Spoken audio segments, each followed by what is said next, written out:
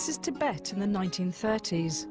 A beautiful, isolated land, high up in the mountain range of the Himalayas. Surrounded by the empires of Britain and China, and yet still almost completely untouched by the outside world. Tibet is now most famous for its leader, the Dalai Lama, who was forced into exile nearly 50 years ago. This treasure trove of rare colour films, filmed by British, Chinese and Tibetans who lived through these times, have been preserved by the British Film Institute. These films allow us to glimpse into a world which has almost entirely disappeared, to a time before the Dalai Lama and his people lost their country.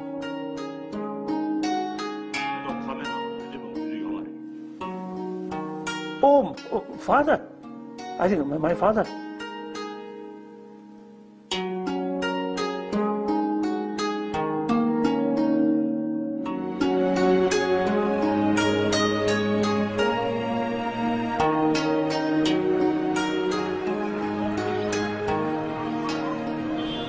Dalai Lama escaped to India in 1959 and along with the Tibetan government in exile is based in McLeodganj in northern India. To understand how Tibet was lost and why the Dalai Lama must live in exile, we have to look back to a time when Tibet was a free nation.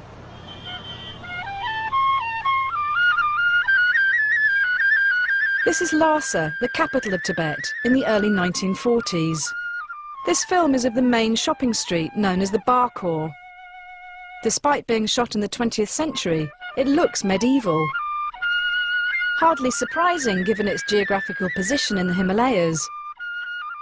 It was almost impossible to reach and so remained frozen in time. Namgyal Takla lived in Tibet in the 1940s. We had the huge mountains surrounding Tibet. And then we were inside this mountain, isolated. And uh, we had the big Russia, China, Britain ar around us. And it was the policy to be kept, this country to be kept a buffer state, a sort of a zone where the big powers will not meet. And it was, we lived in, in, in the 20th century, we maybe have lived like we were in the 16th century. Originally nomadic, Tibetan society became feudal and deeply religious. The introduction of Buddhism to Tibet had a profound effect on both its culture and traditions. Ruled by a dual system combining aristocratic families and Buddhist monks, the government's main function was to maintain the religious state. Any attempts to modernize or invite foreign influence were resisted by this conservative and profoundly religious outlook.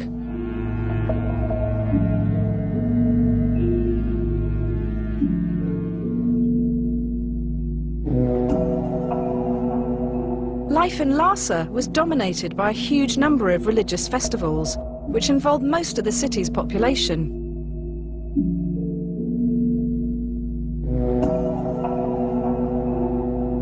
Sixty-eight days a year were taken up with these festivals.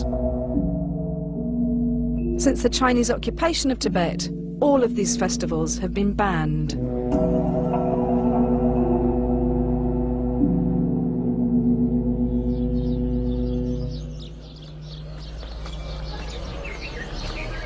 Even though life for exiled Tibetans has changed enormously since the Chinese invasion, Tibetan culture is still deeply religious and Buddhism is central to its way of life. Tibetan prayer flags still hang in holy places. Each time the wind blows, the prayers that are written on them are released into the universe. Buddhism arrived in Tibet in the 7th century, a thousand years after it began in India focusing on the attainment of a deep understanding into the true nature of life. All Buddhists believe that the path to true enlightenment is through the practice and development of morality, meditation and wisdom. At the time these films were made, monks made up 20% of the male Tibetan population. Every Tibetan family, rich or poor, sent their youngest son to a monastery as a spiritual and religious duty. Because monks had a higher social status than peasants, poor families readily gave up their boys in the knowledge that they would be looked after financially for life. These boys would have just arrived at the monastery. Some were as young as seven. Even though in theory they could give up being monks if they wanted, they'd expect to stay there for the rest of their lives. In a tradition that dates back to the 17th century, the Dalai Lama, or Ocean of Wisdom, is both the spiritual and secular leader of Tibet. The present Dalai Lama, who is the 14th, was found while he was still a small child. All Buddhists believe in rebirth and reincarnation. But the man they refer to as His Holiness is something very special. Some even see him as a god king. He is the reincarnation of all the previous Dalai Lamas, an enlightened being, the bodhisattva of compassion, who returns to the human world to help others.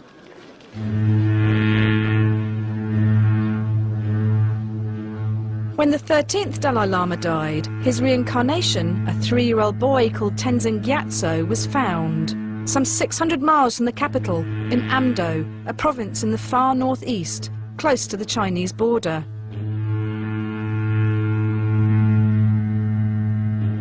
While the Western world was at war, Tenzin and his family made the long journey to Lhasa. The 14th Dalai Lama arrived in October 1940. By now, he was five years old. He was accompanied by his father, mother, and two elder brothers, Lobsang Samten and Gyalo Thondup. Oh, oh, father. I think my father. Father, yes. My mother. Oh, this is elder brother, whom I bully.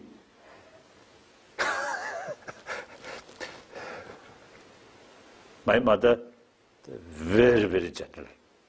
Almost I never saw her sort of the mental state of temper. I never saw. Very gentle. Always smile. something very very nice very nice woman or villager uneducated at the beginning illiterate. Later with her own effort she can read uh, some books. Now here yes my father with mustache. Uh, he very much interest keep his mustache very how say they very organized organized way. Uh, no not like that. So uh, he used, of course, our family from time to time eating meat uh, uh, with bone. So every time from the bone, mm, there is something, uh, what what called marrow or something. Oh. So see, he usually used to put on his mustache, then do like that.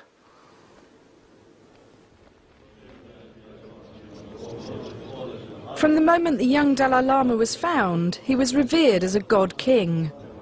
While he was their religious leader, he would not become head of state until he reached 18, and years of monastic study lay ahead of him.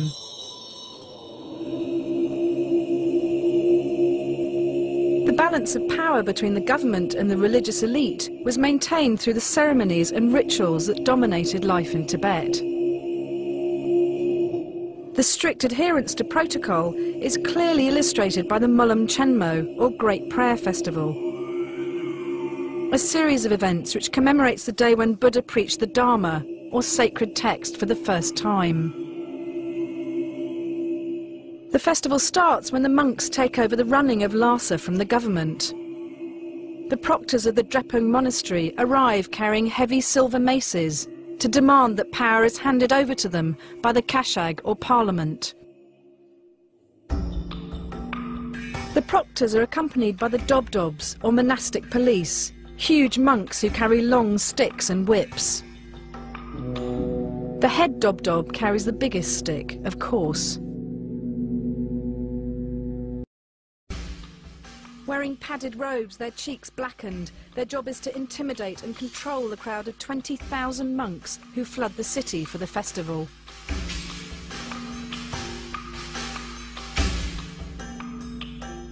Gifts of money and food were handed out during the Great Prayer.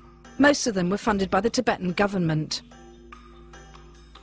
At the end of the festival, power was handed back to the government, which was dominated by a group of aristocratic families. There were about 200 families who made up the civil service, and each of them had to provide a son to serve as an official. Within the aristocracy, there were 30 higher status families who had the most senior positions. Namgyal Takla is from one of these families, the Tsarongs. Oh, that's our house, the, house I was born in, the Tsarong house. And that's my uh, aunt, Kukula, and that's my mother. They're really modeling away. It seems quite strange that they are modeling because there's never, never even heard of this in Tibet, nor did anybody do that, you know. It's, it's, it seems quite strange. I'm sure Auntie Kukula must have arranged this. And I don't know who took the picture, but it's very beautiful, very beautiful. The five-year-old Dalai Lama was about to lead, spiritually if not politically, the massive civil and monastic bureaucracy within Lhasa. Before his official enthronement, he stayed at the summer palace, the Norbulingka. At first, his family were also allowed to stay there, before he began his new life. Of course, at that time, my mother and father and my other brother remained or stay with me. Then mother and father, uh, uh, I think every day is come to see me. And also I also visited uh, to their home. I enjoy my native village's food. While pilgrims flocked from all over Tibet to be blessed by their god king, he received important international visitors, and it was customary to bear gifts. The British political officer in nearby Sikkim brought a movie camera with him and managed to get this first ever moving picture of the Dalai Lama. Sir Basil Gould, seen here with the white prayer scarf around his neck, also brought an expensive foreign toy car for the little boy. But already his status set him apart from other children, and only his older brother Lobsang was allowed to test drive it. Oh, this is my brother, elder brother. So the people felt if I handle maybe too risk, so my elder brother let him, you see, play. Sometimes I feel a little jealousy.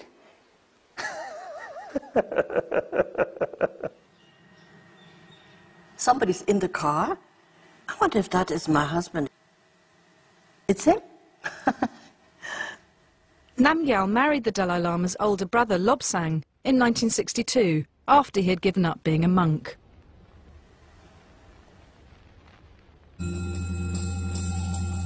The date for the 14th Dalai Lama's enthronement ceremony at the Potala Palace was reached according to complex astrological calculations. The distance between the Norbulingka Palace and the Potala is only a few miles. The Dalai Lama would be accompanied on this short journey by the whole of his monastic and civil retinue.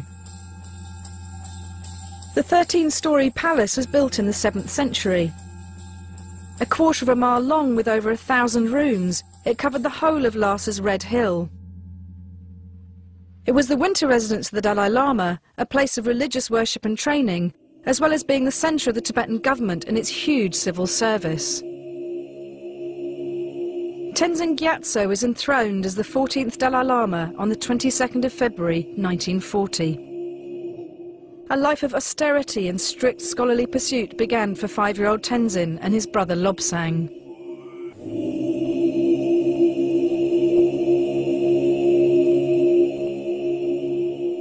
While the boy studied, a monk regent took the role of Tibet's temporal leader until the Dalai Lama reached the age of majority. Regent Reting, accompanied by his enormous bodyguard, a Tugba, oversaw much of this power vacuum but his regime was seen as corrupt. He was displaced and then eventually imprisoned after an attempted coup. He died in jail. While the young Dalai Lama had to wait to take full political power, as the country's spiritual leader, he acted as a figurehead, and one of his duties was attending cabinet meetings. His strict routine only varied when there were important festivals to attend. The festival of the votive offering took place in the eastern courtyard of the Potala Palace. It was a deeply significant, solemn occasion in which all of the sins and bad events from the previous year were purged, clearing the way for the next. The yellow-hatted monks of the Dalai Lama's own Namgyal monastery arrive, and they join the government and civil officials as they prostrate themselves in front of His Holiness. Watching from the top floor, whose balconies are hidden behind yellow silk awnings, is the Dalai Lama. The main event is the Chum, a tantric dance. Accompanied by drums and trumpets, dancers of the Dalai Lama's monastery descend the stairs and enter the courtyard. They have spent many hours in meditation, envisaging themselves as the deities they are about to perform. The Chum dance for the votive offering is performed on the last day of the Tibetan calendar. The monks who dance the chum will have spent years in training, not only in the steps and movements of the dance, but also in the inner meaning of each gesture. The principal character, the stag, is danced by a young monk aged 12 or 13. Ringed around him are 22 black hat dancers and 16 masked dancers. The dance is performed as an auspicious ritual to bring good fortune for the coming new year and to clear away all negative elements from the last. At the end of the ceremony, a cathartic fire purification rite is performed. A human skull filled with alcohol is poured into a pot of burning oil and the last traces of evil are dispelled.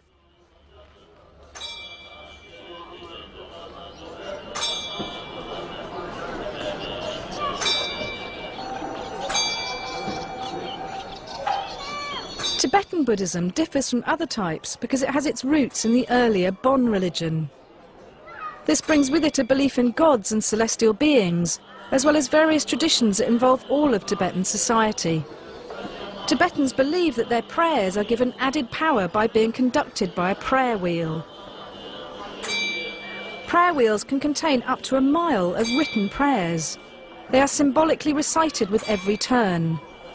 Pilgrims earn merit and concentrate their minds on the mantras they are reciting as they turn the wheel.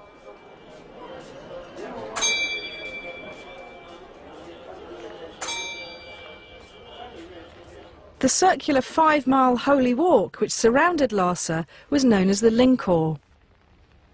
On festival days like the anniversary of the Buddha's enlightenment, pilgrims would start early in the morning. Many would give money, tea or food to the beggars who would line the route.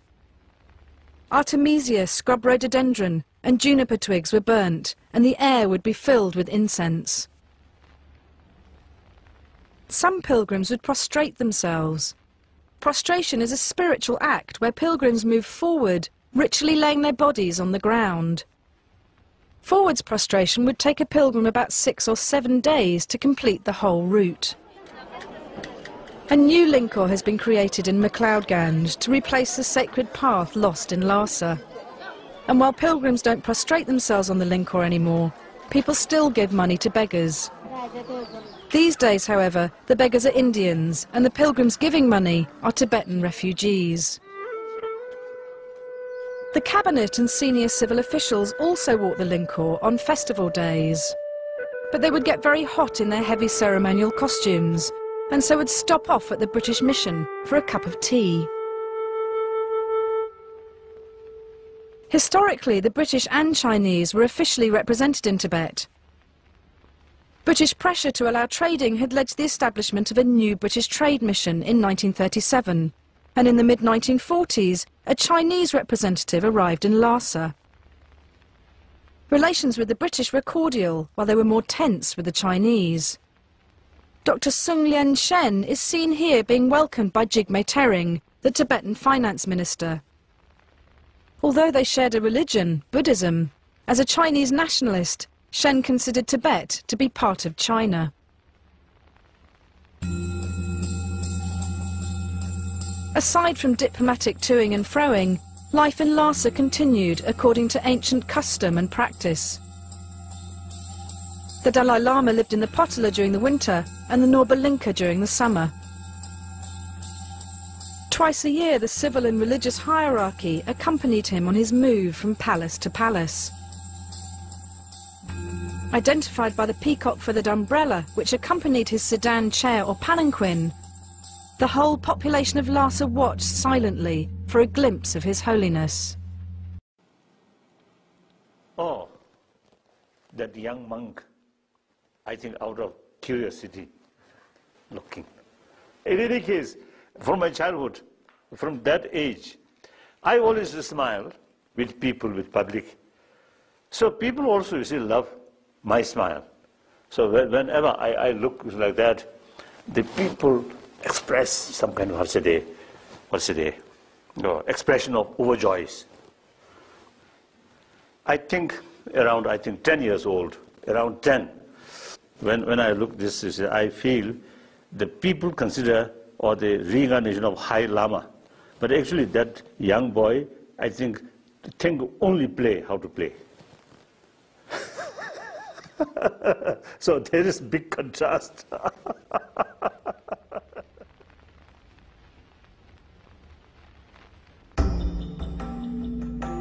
The King's New Year festival celebrates the Dalai Lama's position as the ruler of both church and state.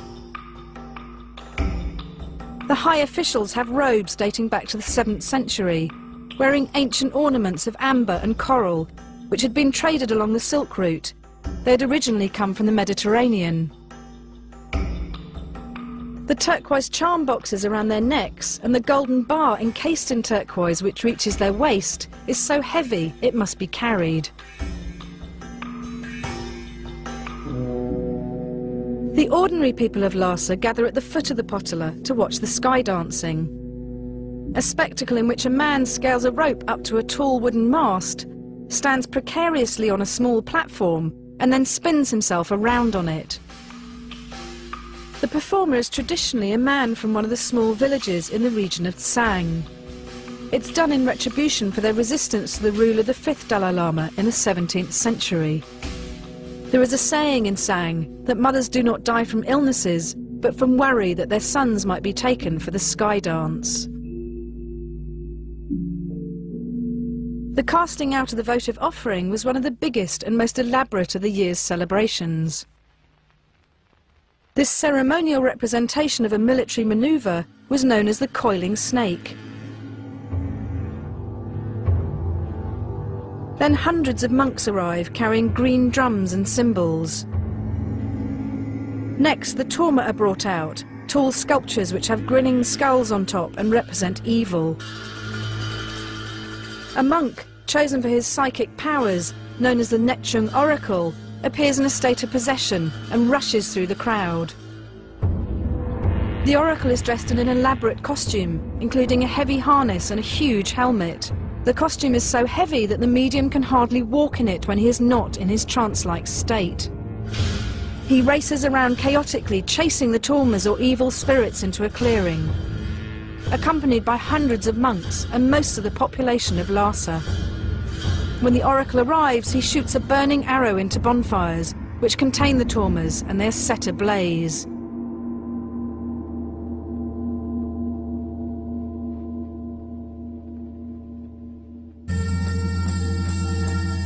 Many of the religious festivals had an additional civil or governmental element. At the review at Trapchi, the Tibetan cavalry assemble for a ceremonial march past in front of the cabinet and other government officials. The cavalry are dressed in chain mail, steel breastplates and helmets with peacock feathers on them. The standard bearers wear special helmets which have Allah inscribed on them in gold, thought to date back to 8th century contact with Arabs. They carry tall lances wrapped in painted banners, said to have been given by the army of Genghis Khan's grandson. The cabinet wear robes with a heavy fur collar and cuffs, their fur-trimmed hats have silk crowns with gold and turquoise ornaments and a coral button on top. A government official, followed by four junior officials, makes his report to the cabinet, announcing the number of men and horses. The cavalry then march past the cabinet in ceremonial style. Summer in Lhasa was a time for festivals which both the rich and poor alike could enjoy. During the picnic season, most of the population would pitch tents in one of the parks southeast of the city. The tents range from the elaborate to a simple sheet. Famous Nangma musicians played Tibetan flutes and harmonicas for the picnickers. Incense burning ceremonies were performed while monks sat in tents playing long horns and oboes. Even the Kuomintang government of China, who had a mission in Lhasa, joined in with the fun. While at home, the communists were growing in power and a civil war was raging. Another important summer event and one of the Dalai Lama's favourites was the annual opera festival held at the Norbulingka Palace. For the commoners of Lhasa, participation in some festival events was not really a matter of choice. For the wrestling and weightlifting, the contestants were from the Dalai Lama's personal bodyguard regiment, though it's hard to believe given their size and stature. The wrestling was a particularly unpopular duty, as they had to wear loincloths. It was deemed to be very shameful appearing semi-naked in public, and especially in front of your superiors.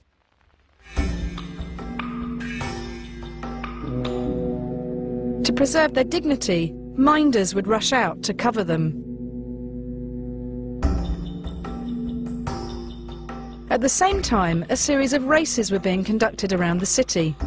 One of them was a foot race. A bit of a motley crew, they ranged from the very aged to the very young. They ran in brightly coloured outfits, somewhat unenthusiastically. The race was compulsory, performed as a duty to their landlords. For the Tibetan aristocrats, there were lots of social events to attend at the British Mission or Deki Linka. In true colonial style, tea parties were held. The British Mission closed when India gained independence in 1947. Tibet still had no status as an independent nation and was not recognised internationally. The civil war between the communists and the nationalists in China continued. The Tibetan government realised that if the communists won, they would not tolerate their religion. However, they did not want to be seen to be taking sides, so they politely asked the nationalist Chinese to leave Tibet. The small Tibetan army was reorganised, new regiments were formed and they were re-equipped. In 1949, the Chinese Civil War ended and the People's Republic of China was established under Mao Zedong's chairmanship. One of their first objectives was to bring Tibet back into the motherland. On the 6th of October 1950, 40,000 Chinese soldiers of the People's Liberation Army invaded Tibet and the small Tibetan army surrendered. Tibet appealed to the United Nations for help, but to no avail. Abandoned by the international community, the Tibetans had no course open to them but to negotiate with the Chinese. But they needed a sole ruler. So the 16-year-old Dalai Lama was made the spiritual and temporal leader of Tibet. The Dalai Lama acted quickly and sent delegations to Britain and America. But it was the height of the Cold War and the Allies refused to help. The Chinese, however, were happy to talk Fearful that Chinese troops would invade Lhasa, the Dalai Lama instructed Tibetan officials in Beijing to begin negotiations. The 17-point agreement in which Tibet was defined as being part of the Chinese motherland was signed in Beijing without the Dalai Lama's consent. The long-awaited reunification, as the Chinese called it, was completed when their troops invaded Lhasa in October 1951. Professor Samdhong Rinpoche was in Lhasa at the time. At that time, there are quite a sizable number of uh, Chinese military personnel uh, uh, arrived in uh, Tibet and they have set up loudspeaker radio uh, in Lhasa town. So there was a lot of uh, wires going over the houses and um, there's a big uh, loudspeaker so it was not a radio but just um, propaganda through a whole the town by covered by the loudspeakers The 17 point agreement was meant to allow the Tibetan government to continue running its own country. So the Dalai Lama immediately set about introducing both social and land reforms.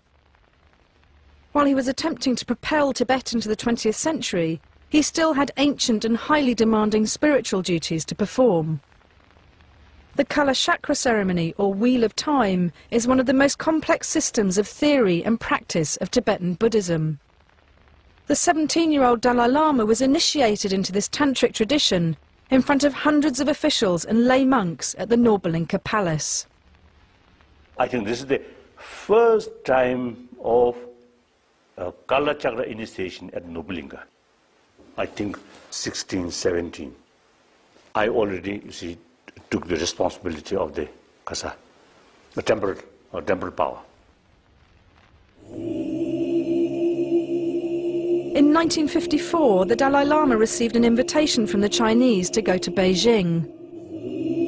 While many Tibetans feared for his safety, the Dalai Lama was determined to go, seeing it as an opportunity to be able to talk to Chairman Mao in person. Then I felt, not only me, but some officials, some high officials, uh, now two opinions. One opinion, now this is right time, should go to Peking and meet high officials, high leaders. That some very much reluctant, very much against. I think out of fear. And my own opinion is now better go there. The Tibetans were terrified at the thought of the Dalai Lama leaving the country. But he promised he would return within the year. Hundreds of people travelled from Lhasa and crowded the riverbanks to watch him leave and pray for his safe return. Now this is the, actually, you see, departing uh, uh, Lhasa to China. I think this one. You know, uh, I like missions or these modern things. So I love to see, uh, to visit China. But at the same time, not like just tourists, also have some responsibility. So not very certain. So all kinds of mixture feeling. Mm. Some hopes, some doubts, some fears, some, uh, what's say, undecisive, like that. And also some excitement. The Dalai Lama attended the first National Chinese People's Congress, which included 10 seats for the Tibetan delegation. He was impressed by Mao and felt a great affinity with many of the egalitarian principles of communism. However, at their last meeting, Mao gave his true opinion of Tibet and its future under Chinese rule. As the Dalai Lama left, Mao turned to him and said, religion is poison. The Dalai Lama returned to Tibet. News reached him that the Chinese authorities in the east were confiscating lands belonging to monasteries and redistributing them amongst themselves. Fighting broke out between the Chinese army and the Tibetan freedom fighters, and refugees began pouring into Lhasa. In the midst of this tense atmosphere, the Dalai Lama still had to take his final monastic exams. The main focus of the exams were public debates. Debate is an ancient tradition within Buddhism which is still practiced today. Although the monks and now nuns are somewhat more vigorous in their style than they were in the 1950s. These monks are arguing over their personal interpretation of Buddhist texts. The skill is in arguing and using logic to back up your points with your own analysis and involves constant re-evaluation. The points are punctuated with claps of the hand. The respondent must then reply with theirs.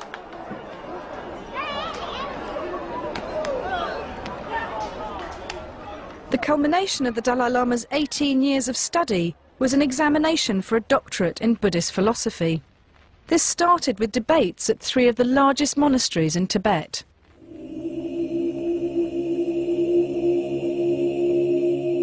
Drepung Monastery had 10,000 resident monks. 8,000 of them were squeezed into the square outside the main hall, to see the Dalai Lama as he arrived with his retinue to take his first exam.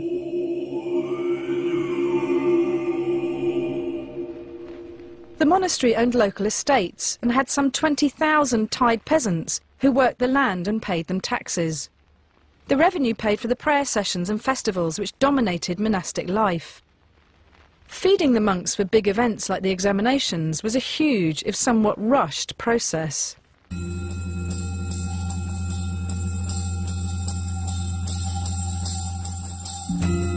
The young monks run down from the cookhouse carrying huge tubs of tsampa to their brethren who are sitting in the square. Tsampa, the staple diet of Tibetans, is made of roasted barley flour mixed with yak butter, tea or water to make dough.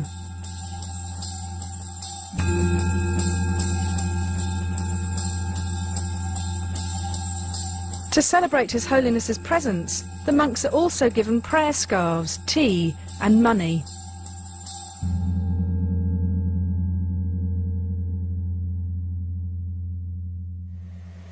I am somewhere here, somewhere among these, the second row or third row I should be. And this is a Gomang side. These are the government officials. Now His Holiness is offering the debate to the two abbots during his early life uh, he had to go to uh, China and he had to go to India and he have so many uh, things to attend. So then uh, he did not have time to study. Oh now this about top scholar mongolian.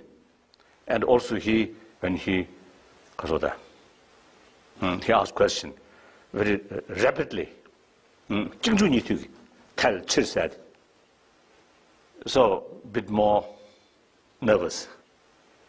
Uh, so i have had little uh, uh, opportunity to think how to trick to, him. One top scholar, you see, very rapidly, you see, putting question, question. Then no time, you see, how to how to pretend or how to how to defend like that. Uh, so now this is my turn debate? Of course, we have received a lot of teaching from His Holiness, and we know he is a very great scholar. But uh, he was not joined in the uh, monastic debate. We thought he may not be very sharp in the in the debate.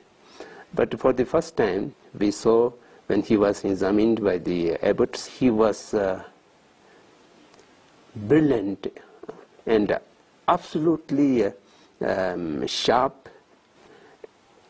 equal with those who are uh, debating the monastery for lifetime. And the abbots find it quite difficult to, uh, to debate with him.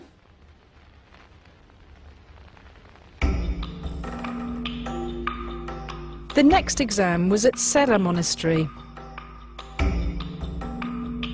The whole of the Dalai Lama's government travelled with him,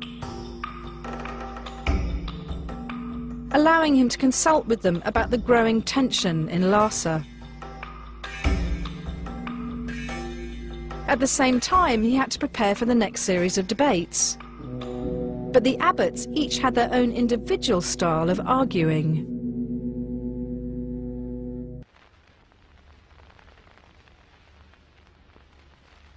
The last of the preliminary exams was some distance from Lhasa, at Ganden Monastery. Ironically, the examinations at Ganden proved to be a brief period of respite for the Dalai Lama. Thousands more refugees had fled the fighting in the east and had arrived in Lhasa. A huge number were now camped around the outskirts of the city. Tensions with the occupying Chinese were high. They had been in Tibet for some nine years. There were food shortages in Lhasa, and rumours about massacres in eastern Tibet and the destruction of sacred sites. The Dalai Lama's final exam was arranged to take place at the same time as the Monlam New Year festival. There were 30,000 monks in the city and pilgrims were arriving from all over the country. The Jokhang temple was full to bursting. The cabinet, civil officials and all of the senior abbots and monks were present. At the same time, the Chinese army had built gun emplacements on the rooftops. Soldiers carrying rifles were patrolling them. There are a lot of rumors about danger to uh, his security, and uh, the uh, threat perception was very high. And therefore, it was very tight security arrangements used to be there, and that, that was a bit annoying. And it, that was not uh, uh, not a consonance with the monastic atmosphere. So a lot of um, uh, soldiers with uh, guns and very attentive and with walkie-talkies. These are not familiar with the people. So that was a tense and also the joyful. These are going together.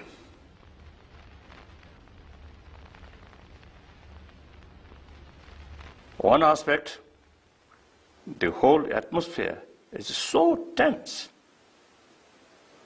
Many people actually felt whether this big gathering can take place or not because is so much tense. But then everything go very smoothly. So everybody very happy. My final examination successful. I think very successful.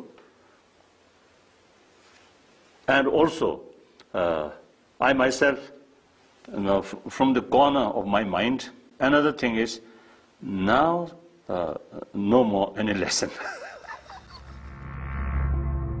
the Dalai Lama returned to the Norbulingka with his full retinue, but this time he was accompanied by armed guards. An invitation had arrived from the Chinese Governor General of Tibet, inviting the Dalai Lama to see a dance troupe at the Chinese military headquarters. In the name of dispensing with formality, the Chinese requested that he attended with unarmed bodyguards. Worried that a refusal would worsen the fragile situation, the Dalai Lama accepted, but the news soon spread. Thousands of people rushed to the Norbulingka and surrounded the palace, demanding that the Dalai Lama didn't go. Intelligence reports reached him saying that the Chinese were about to bomb the palace. Convinced that if he left, the people would be saved, the Dalai Lama decided he had to leave. Of course, I think topmost in my mind is fear, sadness, and almost like the feeling of desperate.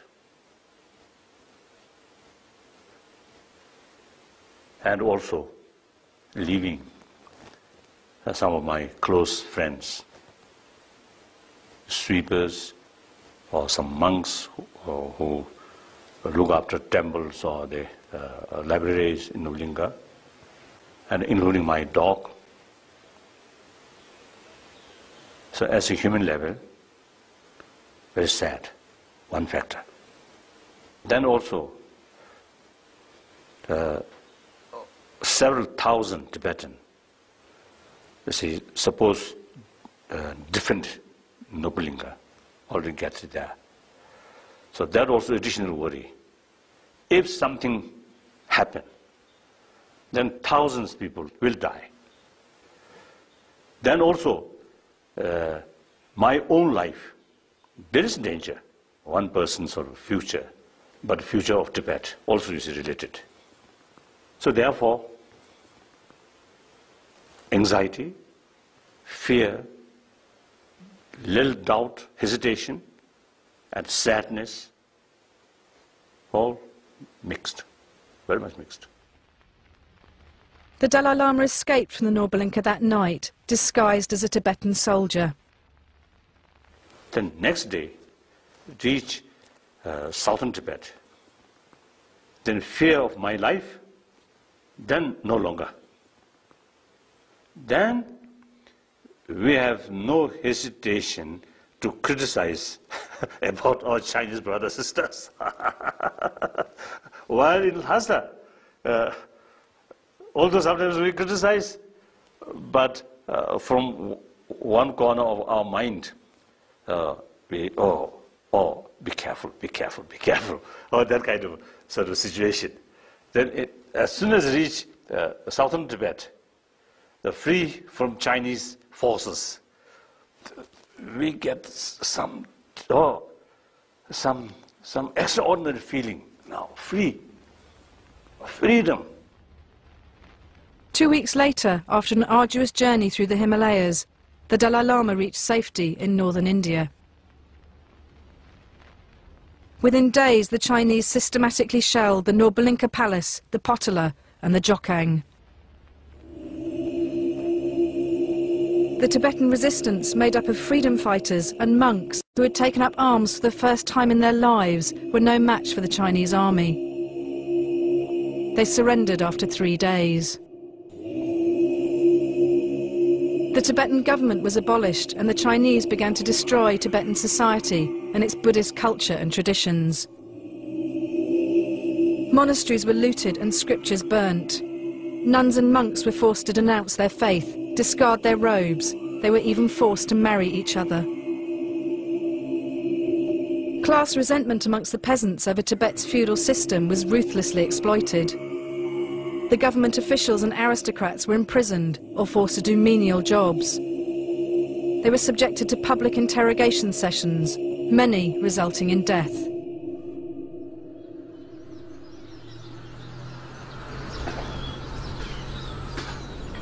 The Indian government granted the Dalai Lama political asylum, and 80,000 refugees escaped from Tibet to join him. He has lived in Dharamsala, now known as Little Lhasa, ever since. The Dalai Lama appealed to the United Nations, calling on China to respect the human rights of Tibetans and their desire for self-determination. Despite three resolutions adopted by the UN General Assembly, the fact that thousands of monasteries were destroyed and hundreds of thousands of Tibetans were imprisoned in labour camps the international community refused to intervene.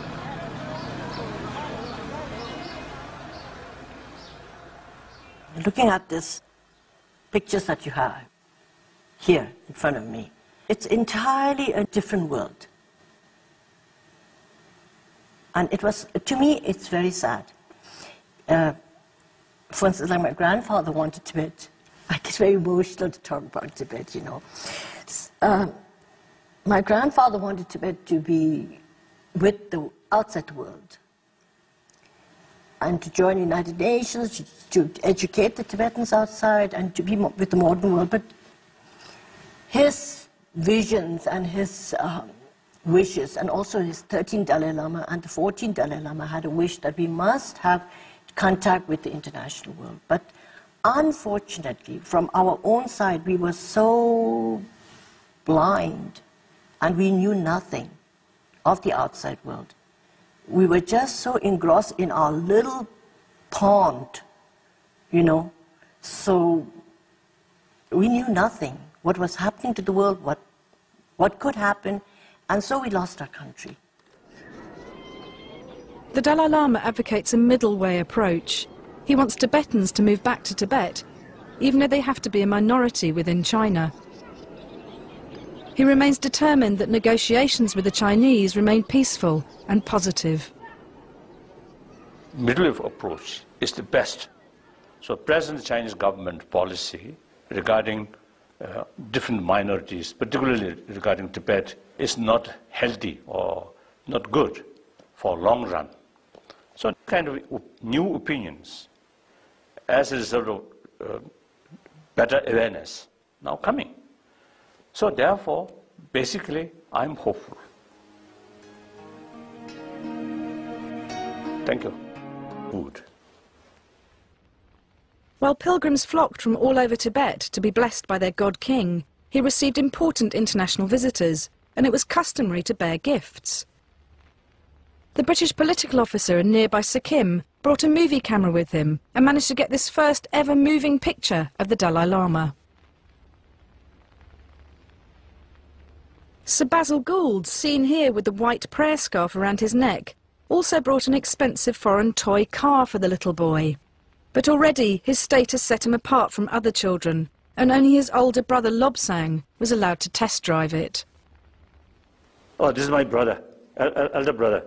So the people felt if I handle maybe too risk, so my elder brother, let him, you see, play. Sometimes I feel a little jealousy.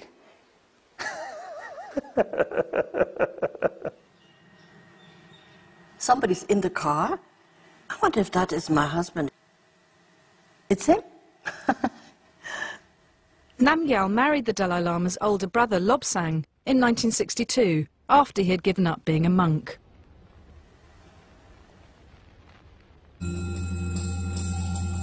The date for the 14th Dalai Lama's enthronement ceremony at the Potala Palace was reached according to complex astrological calculations. The distance between the Norbulingka Palace and the Potala is only a few miles.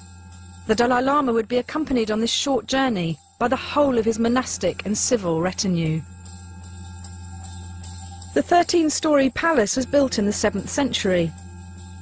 A quarter of a mile long with over a thousand rooms, it covered the whole of Lhasa's Red Hill. It was the winter residence of the Dalai Lama, a place of religious worship and training, as well as being the centre of the Tibetan government and its huge civil service. Tenzin Gyatso was enthroned as the 14th Dalai Lama on the 22nd of February 1940. A life of austerity and strict scholarly pursuit began for five-year-old Tenzin and his brother Lobsang.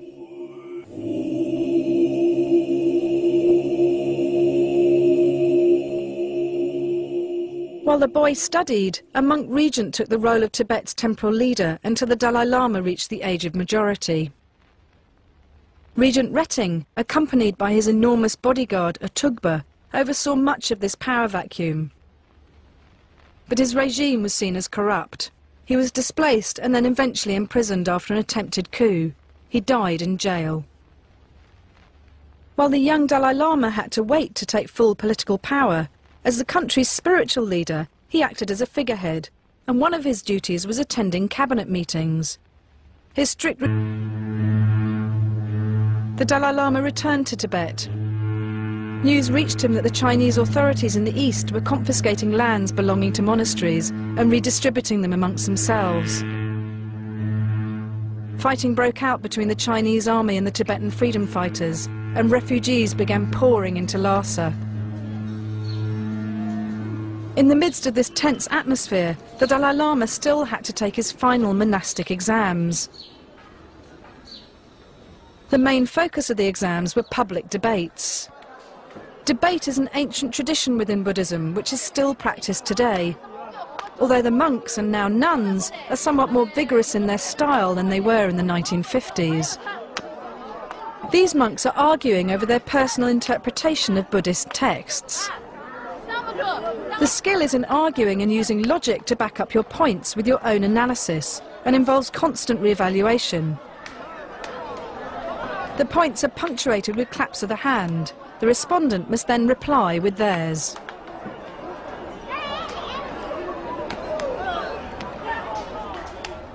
The culmination of the Dalai Lama's 18 years of study was an examination for a doctorate in Buddhist philosophy.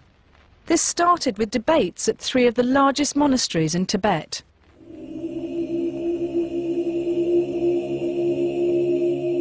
Drepung Monastery had 10,000 resident monks. 8,000 of them were squeezed into the square outside the main hall to see the Dalai Lama as he arrived with his retinue to take his first exam.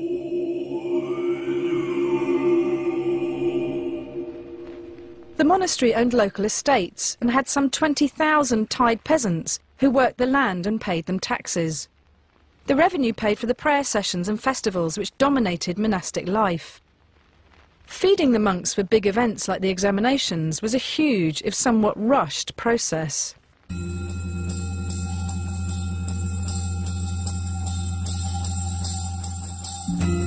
The young monks run down from the cookhouse carrying huge tubs of tsampa to their brethren who are sitting in the square. Tsampa, the staple diet of Tibetans, is made of roasted barley flour mixed with yak butter, tea or water to make dough.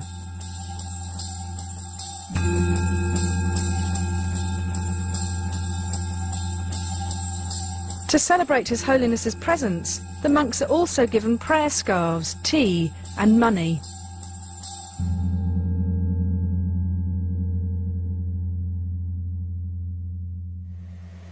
I'm somewhere here, somewhere among these, the second row or third row I should be. And this is a is through the practice and development of morality, meditation and wisdom. At the time these films were made, monks made up 20% of the male Tibetan population. Every Tibetan family, rich or poor, sent their youngest son to a monastery as a spiritual and religious duty. Because monks had a higher social status than peasants, poor families readily gave up their boys in the knowledge that they would be looked after financially for life. These boys would have just arrived at the monastery. Some were as young as seven. Even though in theory they could give up being monks if they wanted, they'd expect to stay there for the rest of their lives. In a tradition that dates back to the 17th century, the Dalai Lama, or Ocean of Wisdom, is both the spiritual and secular leader of Tibet. The present Dalai Lama, who is the 14th, was found while he was still a small child. All Buddhists believe in rebirth and reincarnation.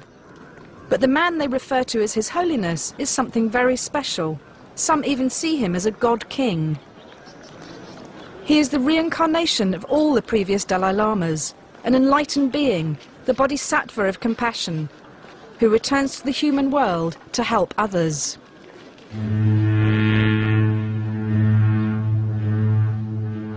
When the 13th Dalai Lama died, his reincarnation, a three-year-old boy called Tenzin Gyatso, was found, some 600 miles from the capital, in Amdo, a province in the far northeast, close to the Chinese border.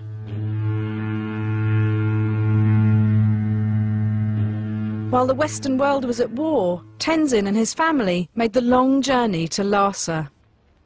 The 14th Dalai Lama arrived in October 1940. By now, he was five years old. He was accompanied by his father, mother, and two elder brothers, Lobsang Samten and Gyalo Thondup. Oh, oh, father. I think my father. Father, yes. My mother? Oh, this is elder brother, whom I bully.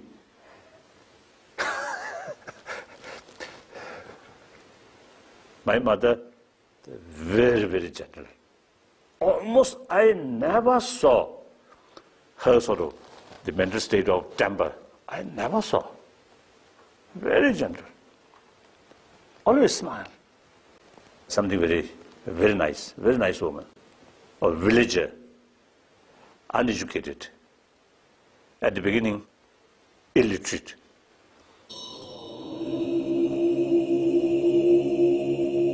The balance of power between the government and the religious elite was maintained through the ceremonies and rituals that dominated life in Tibet. The strict adherence to protocol is clearly illustrated by the Monlam Chenmo, or Great Prayer Festival. A series of events which commemorates the day when Buddha preached the Dharma, or sacred text, for the first time. The festival starts when the monks take over the running of Lhasa from the government. The proctors of the Drepung monastery arrive carrying heavy silver maces to demand that power is handed over to them by the Kashag or Parliament. The proctors are accompanied by the Dobdobs or monastic police, huge monks who carry long sticks and whips. The head Dobdob carries the biggest stick, of course. Wearing padded robes, their cheeks blackened, their job is to intimidate and control the crowd of 20,000 monks who flood the city for the festival.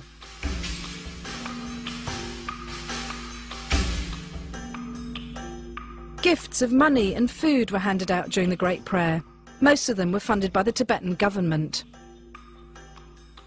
At the end of the festival, power was handed back to the government, which was dominated by a group of aristocratic families. There were about 200 families who made up the civil service, and each of them had to provide a son to serve as an official. Within the aristocracy, there were 30 higher status families who had the most senior positions. Namgyal Takla is from one of these families, the Tsarongs. Oh, that's our house, the, the, house I was born in, the Tsarong house. And that's my uh, aunt, Kukula, and that's my mother. They're really modeling away.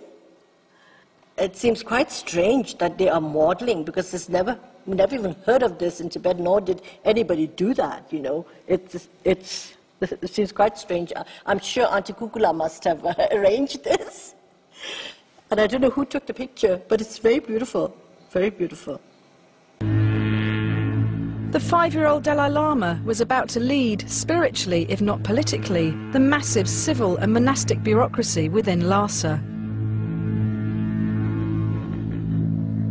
Before his official enthronement, he stayed at the summer palace, the Norbulingka.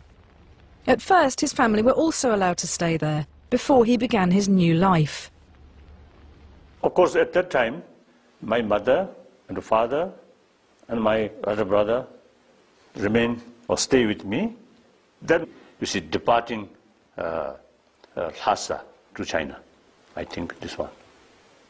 You know, uh, I like missions or these modern things. So I love you see, to see, uh, to visit China. But at the same time, not like just tourists. Also have some responsibility. So not very certain. So all kinds of mixture feeling. Mm. Some hopes, some doubts, some fears, some, uh, what's say they, undecisive, like that. And also some excitement. The Dalai Lama attended the first National Chinese People's Congress, which included 10 seats for the Tibetan delegation. He was impressed by Mao and felt a great affinity with many of the egalitarian principles of communism. However, at their last meeting, Mao gave his true opinion of Tibet and its future under Chinese rule. As the Dalai Lama left, Mao turned to him and said, religion is poison. The Dalai Lama returned to Tibet News reached him that the Chinese authorities in the east were confiscating lands belonging to monasteries and redistributing them amongst themselves. Fighting broke out between the Chinese army and the Tibetan freedom fighters, and refugees began pouring into Lhasa. In the midst of this tense atmosphere, the Dalai Lama still had to take his final monastic exams. The main focus of the exams were public debates. Debate is an ancient tradition within Buddhism which is still practiced today. Although the monks and now nuns are somewhat more vigorous in their style than they were in the 1950s. These monks are arguing over their personal interpretation of Buddhist texts. The skill is in arguing and using logic to back up your points with your own analysis and involves constant re-evaluation. The points are punctuated with claps of the hand, the respondent must then reply with theirs.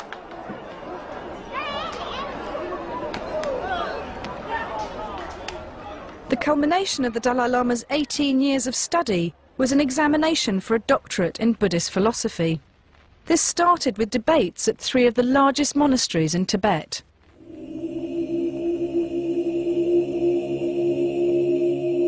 Drepung Monastery had 10,000 resident monks. 8,000 of them were squeezed into the square outside the main hall to see the Dalai Lama as he arrived with his retinue to take his first exam.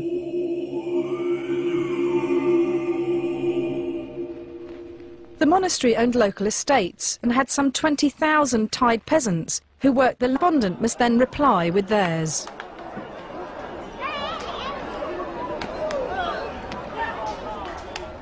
The culmination of the Dalai Lama's 18 years of study was an examination for a doctorate in Buddhist philosophy. This started with debates at three of the largest monasteries in Tibet.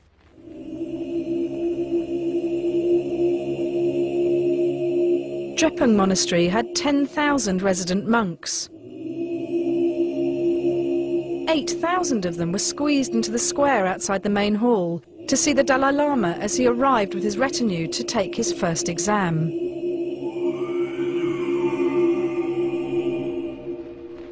The monastery owned local estates and had some 20,000 tied peasants who worked the land and paid them taxes. The revenue paid for the prayer sessions and festivals which dominated monastic life. Feeding the monks for big events like the examinations was a huge, if somewhat rushed, process.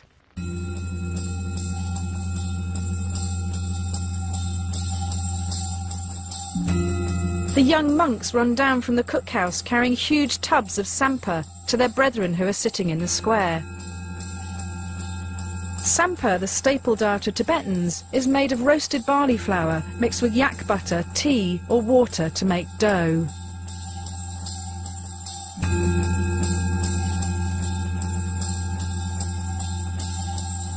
To celebrate His Holiness's presence, the monks are also given prayer scarves, tea and money.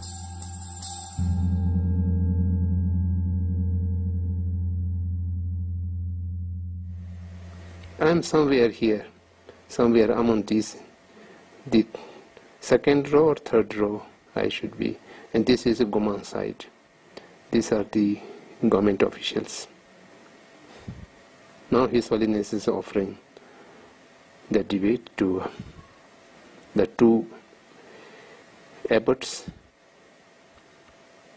During his early life, uh, he have to go to uh, China and he have to go to India and he have so many uh, things to attend. So then uh, he did not have time to study. Oh, now this about top scholar, Mongolian. And also he, when he, Kasoda, hmm, he asked question very uh, rapidly. Hmm, Chingzhu Nitu, tell Chir said, So a bit more nervous. Uh, so I have mm, a little uh, opportunity to think how to trick to, to him. One top scholar, you see, very rapidly, you see, fear, little doubt, hesitation, and sadness, all mixed, very much mixed. The Dalai Lama escaped from the Norbulingka that night, disguised as a Tibetan soldier. The next day, reach uh, southern Tibet. Then fear of my life, then no longer. Then we have no hesitation to criticize about our Chinese brothers and sisters. While in Lhasa, uh, although sometimes we criticize, but uh, from one corner of our mind, uh, we, oh, oh, be careful, be careful, be careful, or that kind of sort of situation. Then it, as soon as we reach uh, southern Tibet, the free from Chinese forces, we get some, oh, some, some extraordinary feeling now, free, freedom. Two weeks later, after an arduous journey through the Himalayas, the Dalai Lama reached safety in northern India. Within days, the Chinese systematically shelled the Norbulingka Palace, the Potala and the Jokhang.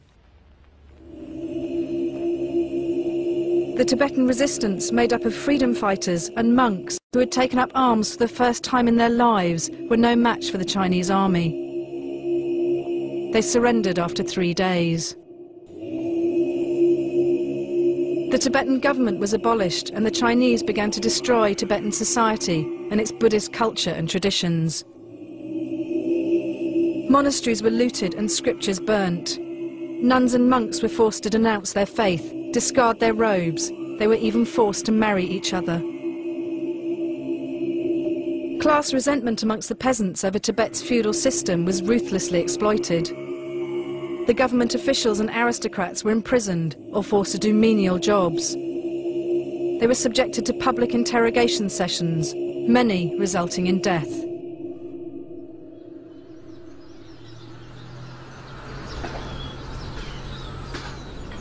The Indian government granted the Dalai Lama political asylum. and 80,000 refugees escaped from Tibet to join him. He has lived in Dharamsala, now known as Little Lhasa, ever since. The Dalai Lama appealed to the United Nations, calling on China to respect the human rights of Tibetans and their desire for self-determination. Despite three resolutions adopted by the UN General Assembly, the fact that thousands their robes, they were even forced to marry each other.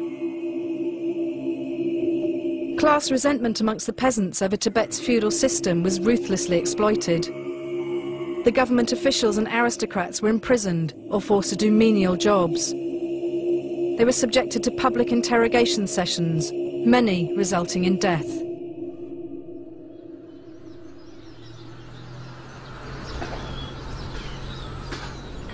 The Indian government granted the Dalai Lama political asylum, and 80,000 refugees escaped from Tibet to join him.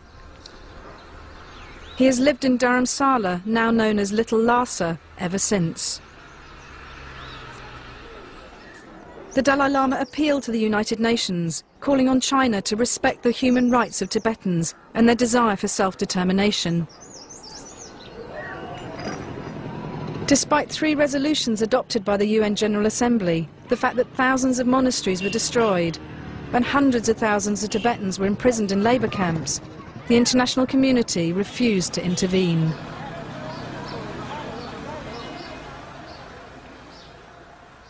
Looking at this pictures that you have here in front of me, it's entirely a different world.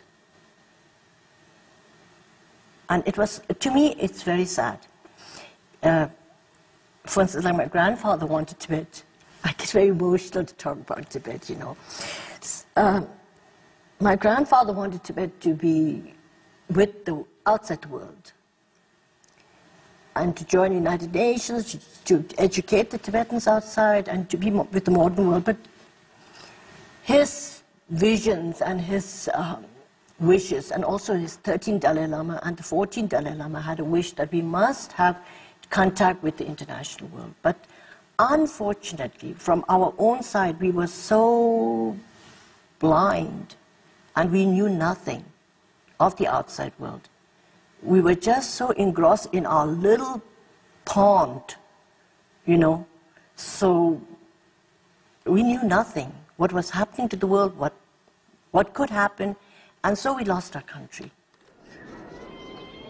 The Dalai Lama advocates a middle way approach.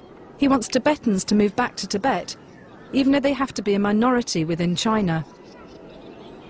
He remains determined that negotiations with the Chinese remain peaceful and positive. Middle approach is the best. So present Chinese government policy regarding uh, different minorities, particularly regarding Tibet, is not healthy or not good for long run. So kind of new opinions as a result of uh, in turquoise, which reaches their waist, is so heavy it must be carried. The ordinary people of Lhasa gather at the foot of the Potala to watch the sky dancing. A spectacle in which a man scales a rope up to a tall wooden mast, stands precariously on a small platform, and then spins himself around on it. The performer is traditionally a man from one of the small villages in the region of Tsang. It's done in retribution for their resistance to the rule of the fifth Dalai Lama in the 17th century.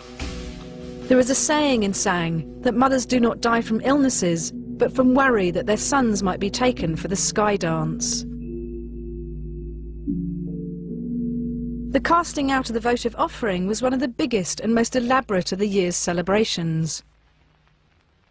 This ceremonial representation of a military manoeuvre was known as the coiling snake. Then hundreds of monks arrive carrying green drums and cymbals. Next, the Torma are brought out, tall sculptures which have grinning skulls on top and represent evil. A monk, chosen for his psychic powers, known as the Nechung Oracle, appears in a state of possession and rushes through the crowd. The oracle is dressed in an elaborate costume, including a heavy harness and a huge helmet. The costume is so heavy that the medium can hardly walk in it when he is not in his trance-like state. He races around chaotically, chasing the Tormas or evil spirits into a clearing, accompanied by hundreds of monks and most of the population of Lhasa. When the oracle arrives, he shoots a burning arrow into bonfires, which contain the Tormas, and they are set ablaze.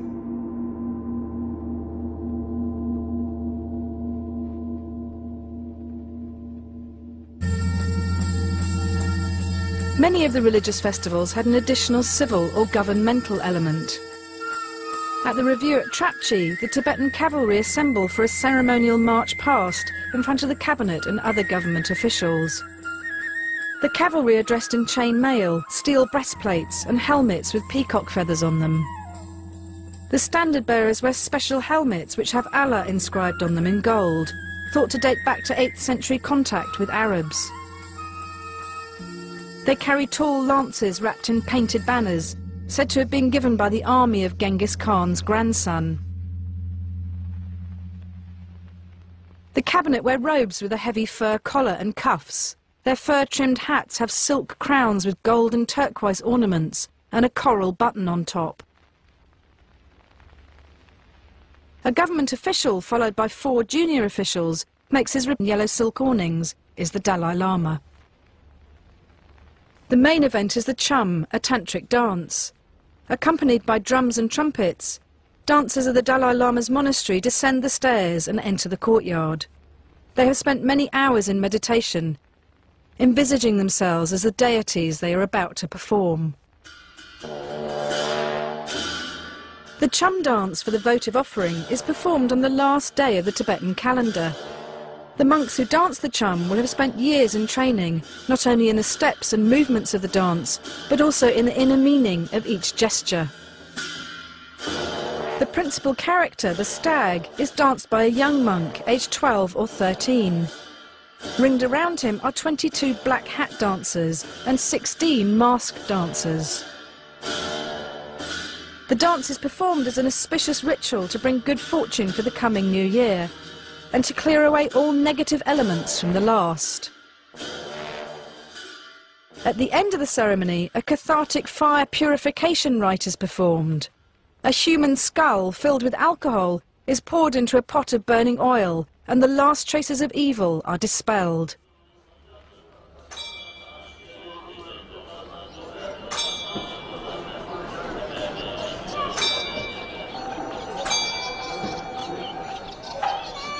Tibetan Buddhism differs from other types because it has its roots in the earlier Bon religion. This brings with it a belief in gods and celestial beings, as well as various traditions that involve all of Tibetan society. Tibetans believe that their prayers are given added power by being conducted by a prayer wheel. Prayer wheels can contain up to a mile of written prayers. They are symbolically recited with every turn. Pilgrims earn merit and concentrate their minds on the mantras they are reciting as they turn the wheel.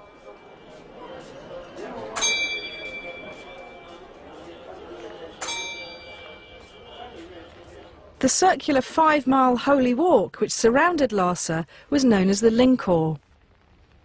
On festival days like the anniversary of the Buddha's enlightenment, pilgrims would start early in the morning. Many would give money, tea or food to the beggars who would line the route. Artemisia, scrub rhododendron and juniper twigs were burnt and the air would be filled with incense. Some pilgrims would prostrate themselves. Prostration is a spiritual act where pilgrims move forward, ritually laying their bodies on the ground. Forwards prostration would take a pilgrim about six or seven days to complete the whole route. A new Lingkhor has been created in McLeod Ganj to replace the sacred path lost in Lhasa. On the 6th of October 1950, 40,000 Chinese soldiers of the People's Liberation Army invaded Tibet and the small Tibetan army surrendered. Tibet appealed to the United Nations for help, but to no avail. Abandoned by the international community, the Tibetans had no course open to them but to negotiate with the Chinese but they needed a sole ruler.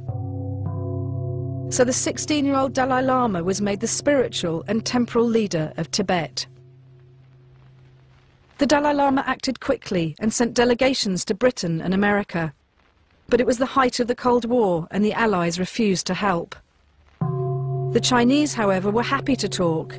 Fearful that Chinese troops would invade Lhasa, the Dalai Lama instructed Tibetan officials in Beijing to begin negotiations. The 17-point agreement in which Tibet was defined as being part of the Chinese motherland was signed in Beijing without the Dalai Lama's consent. The long-awaited reunification, as the Chinese called it, was completed when their troops invaded Lhasa in October 1951. Professor Samdhong Rinpoche was in Lhasa at the time.